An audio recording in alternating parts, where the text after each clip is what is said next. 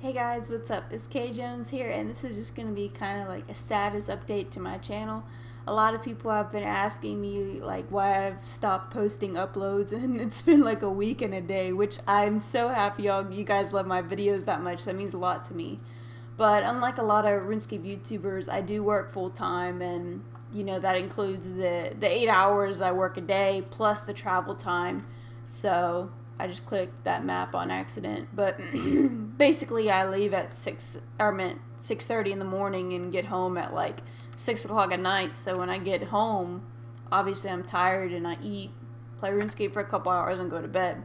So I haven't been having the content filled as much lately as I did whenever I was in university. Uh, also play on the weekends, which is great. But of course, I also have things to do on the weekends. Um, I wish I could play RuneScape and pump out content. You know, getting uh, stuff for progression videos can be tough, especially when you get into the higher tier levels. Every level takes a long time to get, and gear and supplies also gets a really takes a really long time too.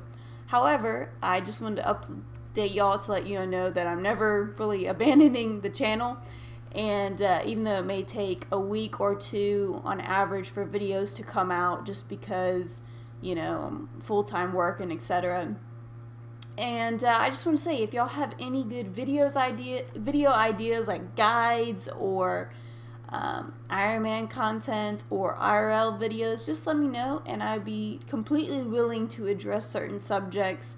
Um, some things that I really enjoy talking about are, you know, relationships. Um, I like doing low level guides because it seems like people really appreciate that. I can also do higher tier guides like Kraken and Corporeal Beast and the such. So let me know what you guys think. I have a lot of videos on my channel and a lot of guides already in place. So please check the, those out before you recommend anything because chances are I may have already done it. So thanks for watching guys and I just wanted to update y'all. I hope you guys are having a great week and good luck on the RuneScape game. See you in the next video guys.